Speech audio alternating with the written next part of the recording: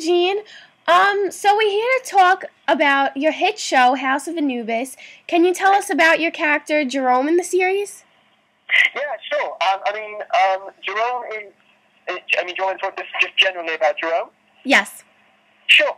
I mean, Jerome is um, within within the uh, the first series. We know Jerome to be the kind of uh, cunning, sly, scheming prankster that he is.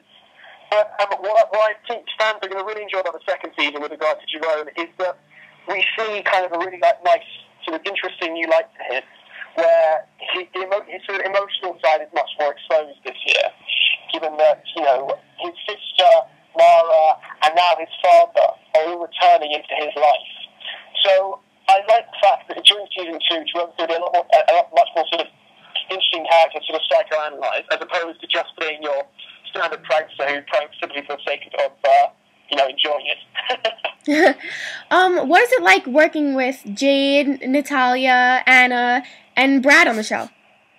It's great working with those guys. You know, I mean, they, they obviously just, over the past year and a half have just become like family. So it's an incredibly rewarding and exciting thing to do together.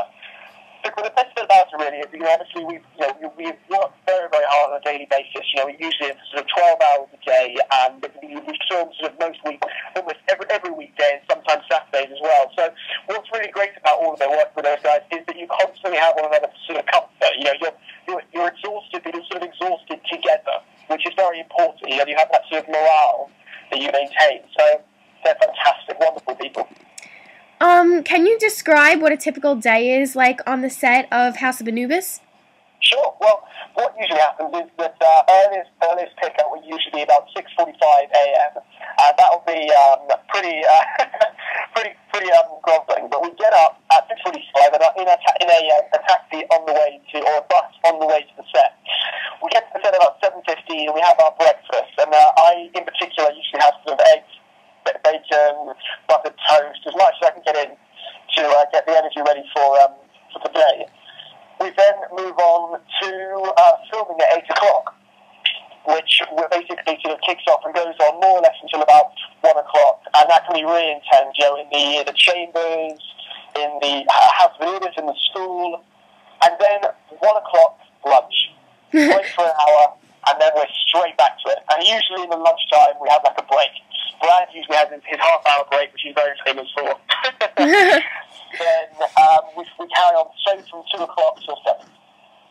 Wow. Um, the fans want to know is the U.S. series of House of Anubis different from the UK series? Um, not, I mean, in terms of the, of the stuff that is actually shown on TV, I'm very happy to report that they are both pretty much the same. There's no real difference, to be honest with you. I've seen sort of the, the episodes that are going to release in the UK are, are yet scheduled to come out, but um, I'm really looking forward to the UK fans seeing exactly what the US fans will. And I hope they love it just as much as the US fans have. I'm sure they will. Um, where can we see Jerome in upcoming episodes of House of Anubis? Well, Jerome will have, um, in terms of his storyline, you'll see Jerome more, more and more often visiting um, may say, you'll be seeing him visiting prison.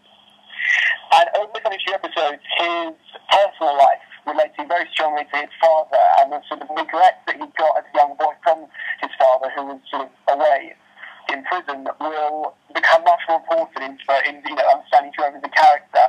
And Mara will obviously be there his sort of um, accomplice, really, to, to sort of keep him company and give him the support that he needs. And that will mean that Jerome will have a lot more kind of romantic and platonic scenes to do with Mara as well. So a lot of it will be to do with the sort of soap side of Jerome's life. And since our website is called Celeb Secrets for You, can you share one secret or hidden talent about yourself? One hidden talent? Uh, I, I'm, I have a hidden talent at for cooking.